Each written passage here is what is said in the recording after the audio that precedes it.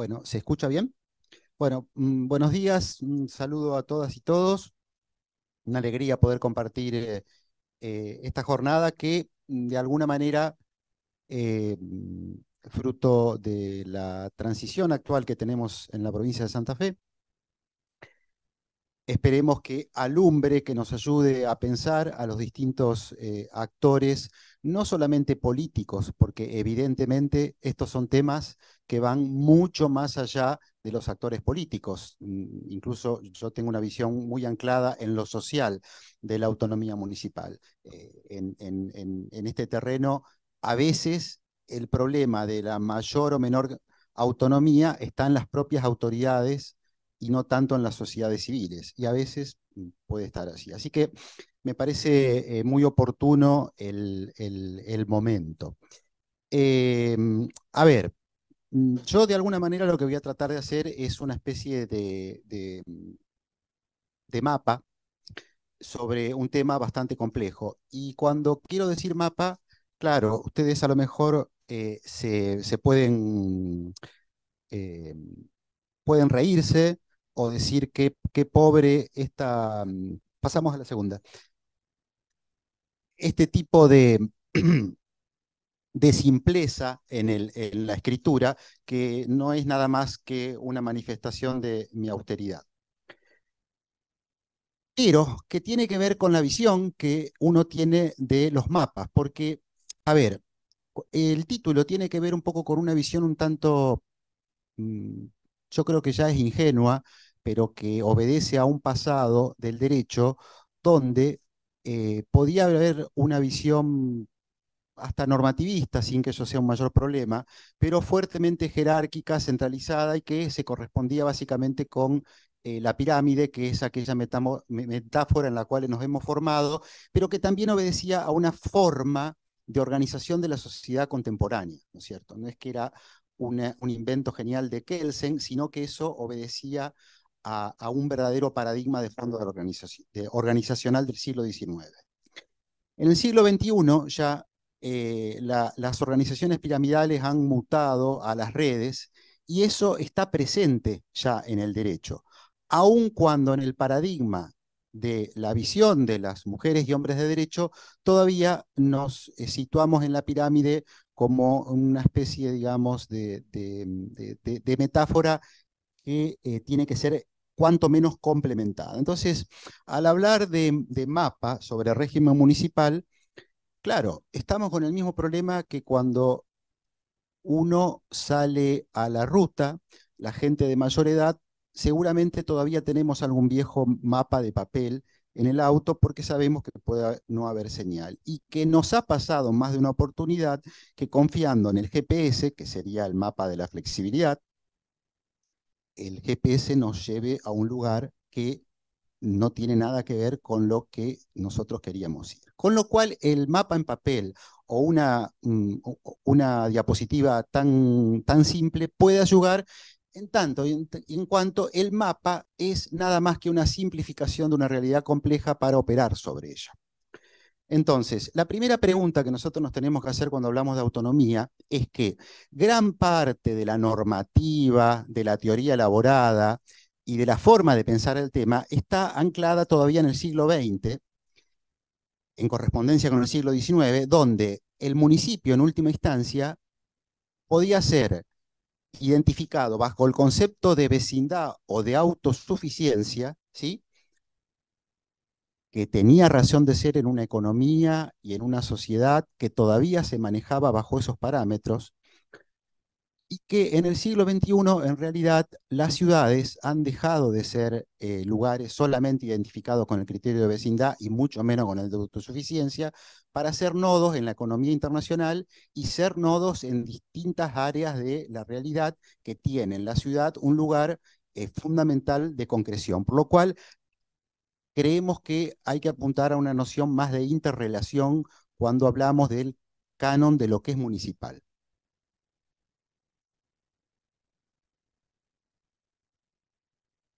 Ahí está. Bueno, entonces, eh, en cuanto al, a un mapa, un primer mapa solamente dentro de lo jurídico y dentro de lo jurídico en lo que es el artículo 123 en el aspecto de las competencias eh, materiales, dejando de lado lo tributario, ¿no? Es decir, en primer lugar, hay un triple orden en cuanto a lo constitucional, por supuesto,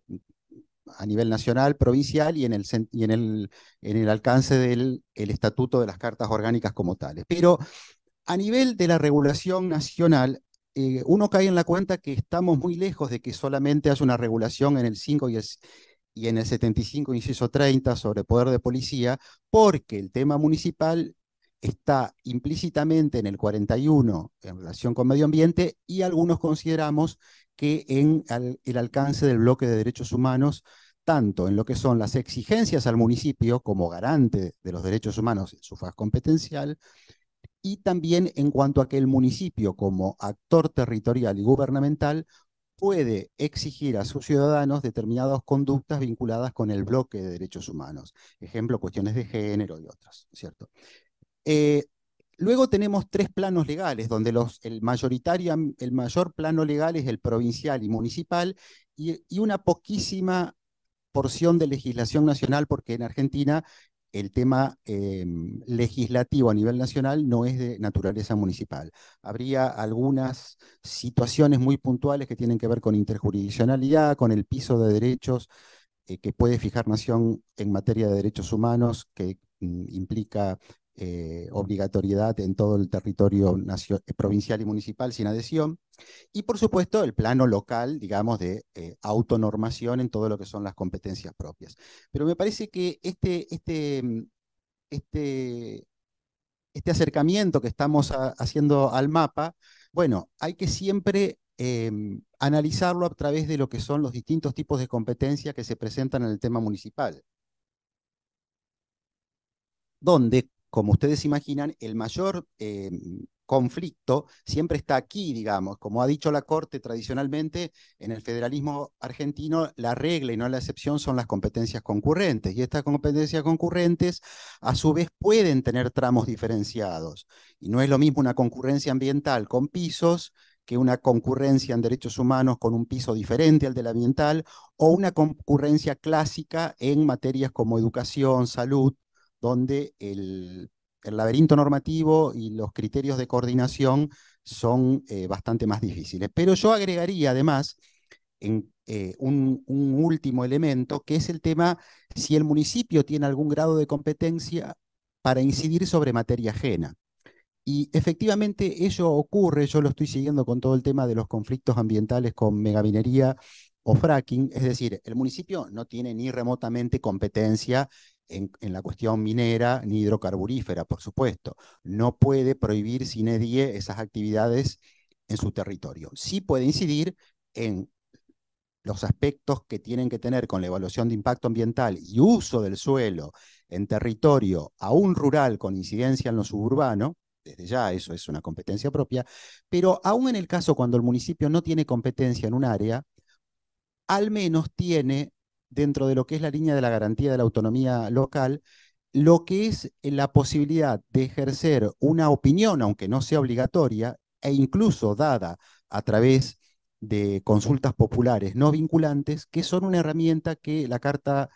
eh, de Autonomía Local Latinoamericana eh, em, insiste, la Carta Europea también, y creo que son mecanismos para eh, tener presentes en cuanto al tema de las competencias ajenas, cuando esas competencias ajenas impactan en sede local, a eso nos estamos refiriendo, ¿no es cierto?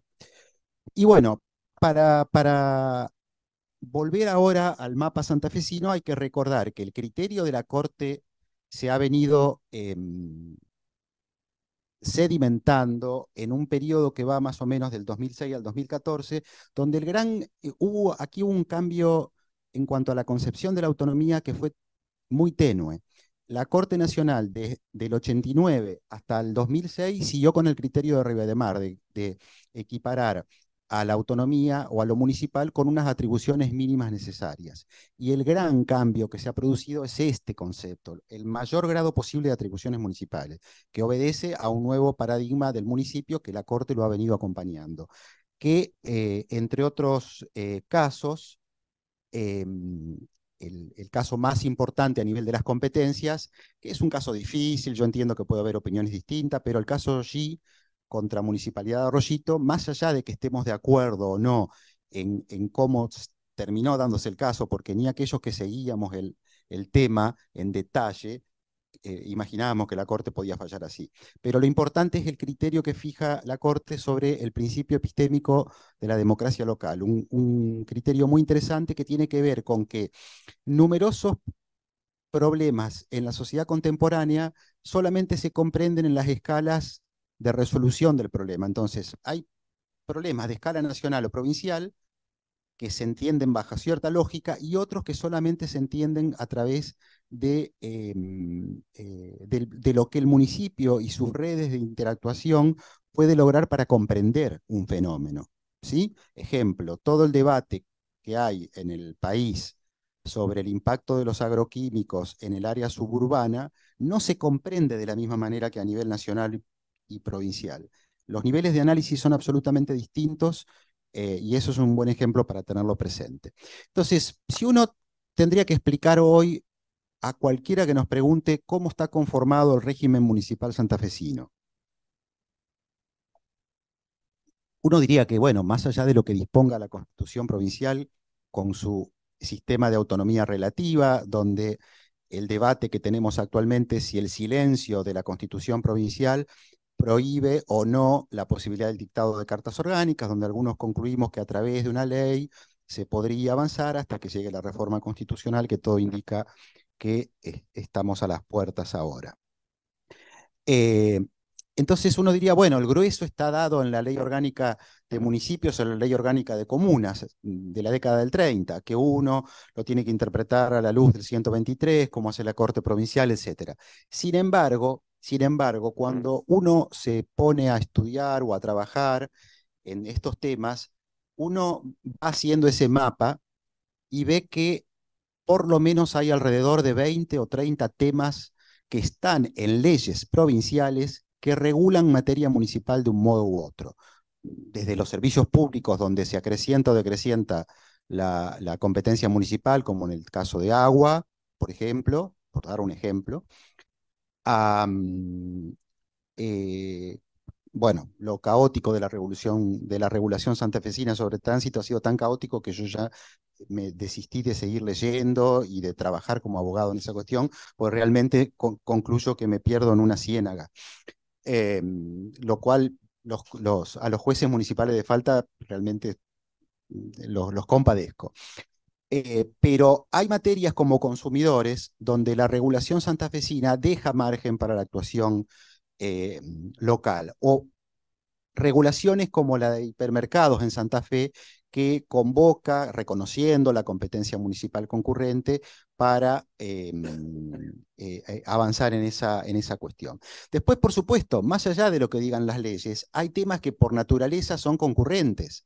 Y digamos, toda la problemática de la salud pública es concurrente, por supuesto. No está escrito en ningún lugar, salvo que me equivoque, pero importa que no esté escrito, que la atención primaria de salud es local, porque eso es un principio de salud pública o internacional. Entonces, aunque no esté escrito, va de suyo que eso implica que aún la comuna más humilde del norte o del, del, centro o el sur se va involucrando en ese tipo de cuestiones, aunque no lo diga la ley orgánica de una manera directa, ni lo asuma el presidente comunal que no le interese ese tema.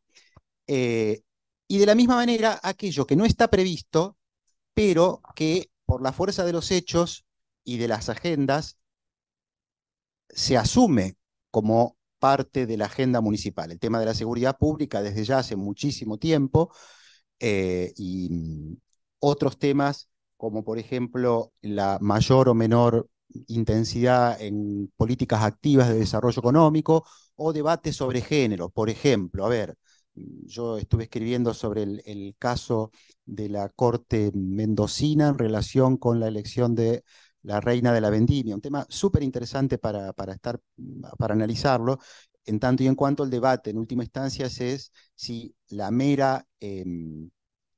elección de, de, una reina implica o no la configuración de violencia simbólica dentro del artículo 5. Eh, son argumentos muy respetables a tener en cuenta de todos los distintos actores. La Corte mm,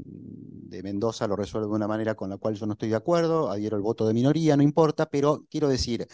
son debates que ya están y entonces lo que los distintos actores entienden en relación con las políticas de género donde el municipio tiene obligaciones son cuestiones que no las tenemos em, tan claro a nivel de la regulación legal. Bueno, finalmente, en cuanto al tema Festran, lo que me parece importante, que es el último fallo que toca claramente y que es el que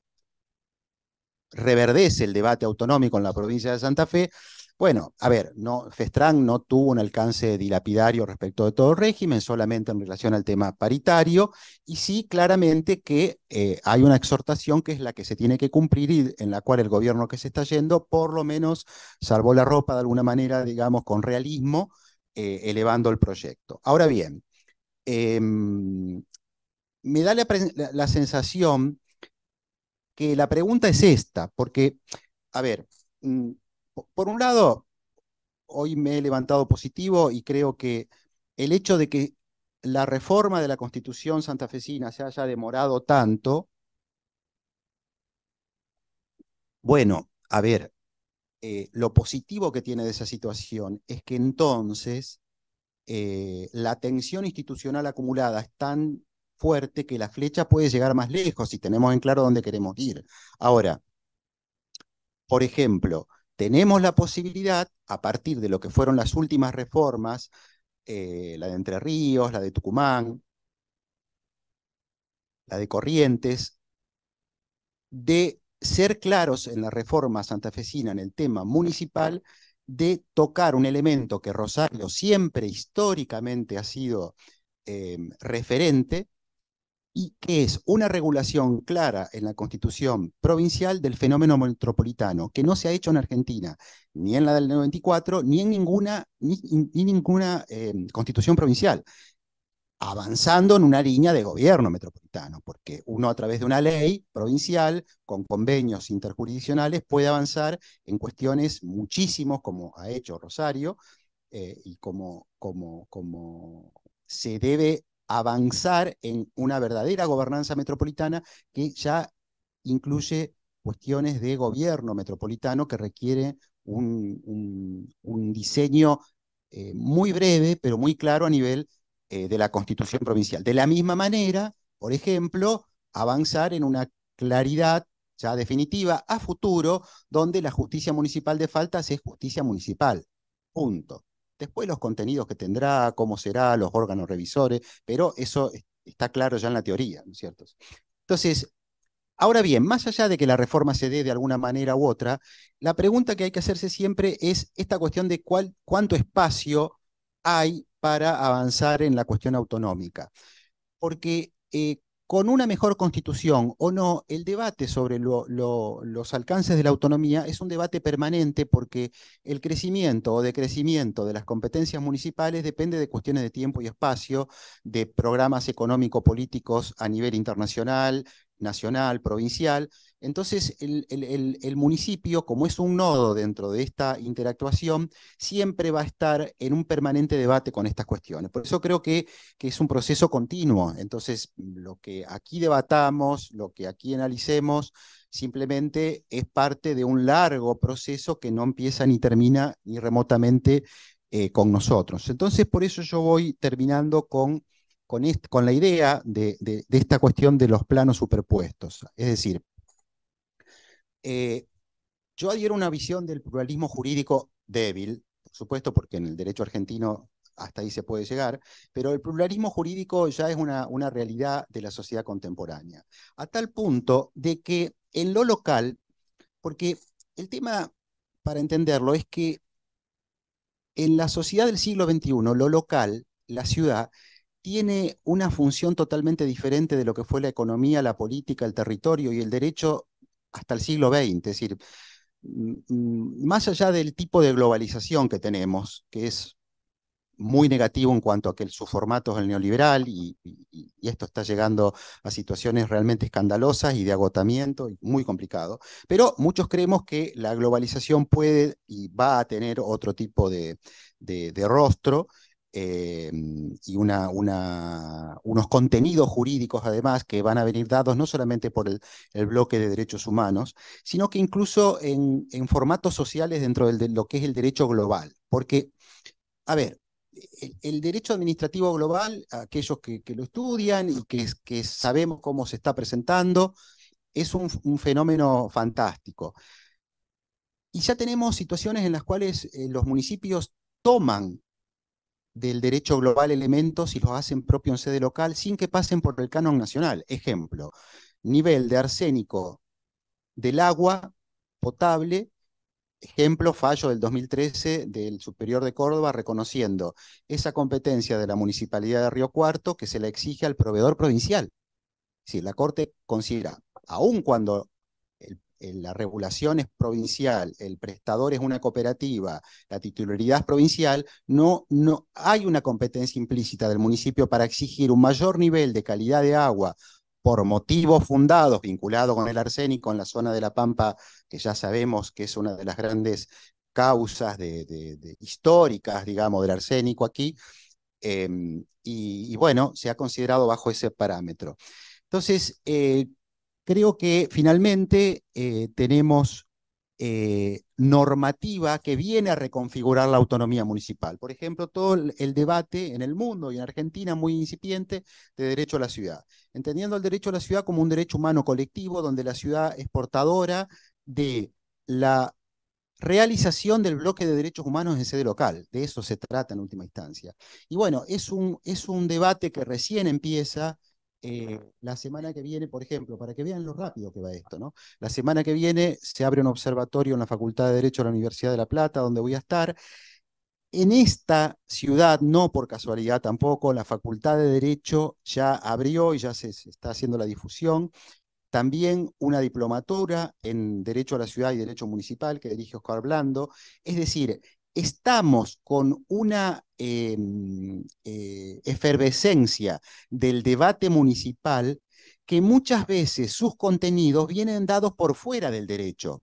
Puedo dar un ejemplo totalmente diferente. Yo me puse a escribir un artículo sobre cannabis municipal porque intuía que ahí había algo que pasaba en cuanto a las competencias municipales. Bueno, cuando lo estudié, tuve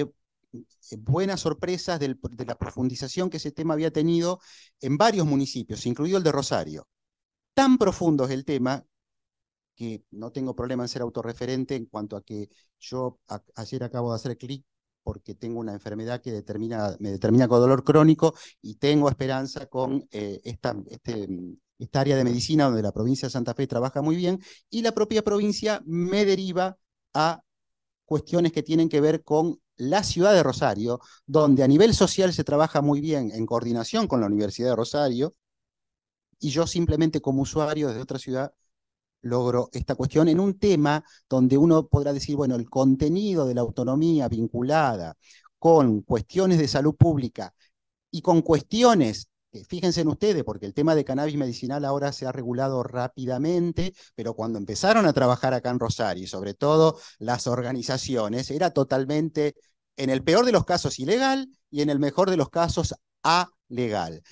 Y ahí ese vacío que se cubre viene por una concepción de la autonomía municipal implícito de trabajar estas cuestiones. Entonces, la visión que, yo personalmente tengo, que sé que es compleja, que sé que es amplia, que sé que es debatible, tiene que ver un poco con avanzar en todas estas nuevas eh, visiones de la autonomía que se superponen sobre las clásicas. Es decir, a las clásicas de todo lo que se ha debatido hoy, que se va a debatir esta tarde, se superponen estas cuestiones. Así que bueno, perdonen si yo les, les, hago más complejo el panorama, pero no es nada más ni nada menos que una manifestación de la complejidad de la sociedad contemporánea que tiene en el municipio un nivel de análisis y de actuación que eh, el tiempo nos ha indicado que pasa por allí. Muchas gracias.